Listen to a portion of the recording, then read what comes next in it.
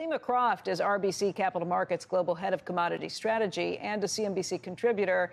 And Helima, you've got some thoughts on, on why this meeting was delayed and, and maybe what happens behind the scenes. What, what, what went wrong? I mean, Becky, they have unfinished business from last summer. There are two African OPEC countries, Angola, Nigeria, that are actually seeking larger production baselines for next year. They got a mega deal done in June. UAE was allowed to increase for next year, but they squared the books by reducing the baseline. So basically taking the quotas lower for the underperforming African countries. And two of those countries are saying, look, we want the opportunity to produce more next year. So they have to square the books before they can address the issue of is there going to be a deeper cut? Are they simply going to extend the unilateral cuts by Saudi Arabia and Russia into next year? So again, there's some uncertainty about when we're going to get this sort of agreement with the African nations and they can move on to the bigger issues at play would the most likely scenario be that they are given the right to go ahead and produce what they weren't producing before? Or, and, and what does that mean overall? That the cuts aren't as deep next year? I mean, I think they're going to find some way to appease, particularly a country like Nigeria. Nigeria has been in OPEC for decades. They do not want us sitting up and falling out with the producer group. So maybe they basically say, we can see what you can do next year. We can reassess this later. So I think they're going to find some type of solution. Angola has always been a trickier member of OPEC. They're a newer member. I've been at multiple meetings where in the middle of the night, the Angolan delegation walks out. And so the question is, can you get Angola across the finish line? But they're not a huge producer. And so there's not as much at stake with a country like Angola. Of course, they want everybody to have a happy, you know, group photo, but it's not that material if Angola basically goes its own way. Again, I expect them to get everything together though by Thursday. You know, I just keep going back to the idea of how powerful OPEC is or isn't. I yeah. know that's gone back and forth over the last few years, but the United States is now producing more than it ever has in, in history. Um, and you've got a potentially a lack of demand from China right now. It's been weaker demand than had been anticipated. Does that weaken OPEC Plus's hands significantly?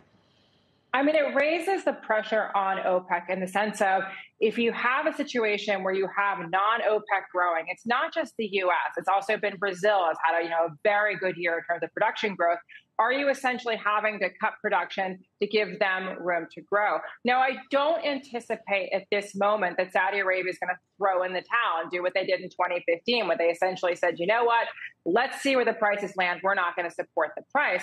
But it is a it is a tougher call for them right now in terms of how much support do you want to give to this market if it's allowing countries like the United States to grow. Another really important issue that Becky, from a policy standpoint from Washington, is Iranian exports have grown this year. They have grown significantly. So is the Biden administration going to come under increasing pressure to tighten the Iran sanctions? Now, Amos Hochstein was out basically saying that we're going to have tougher enforcement. But what are those Iran numbers going to actually look like? That's a very important wild card, I think, for next year in terms of market balances.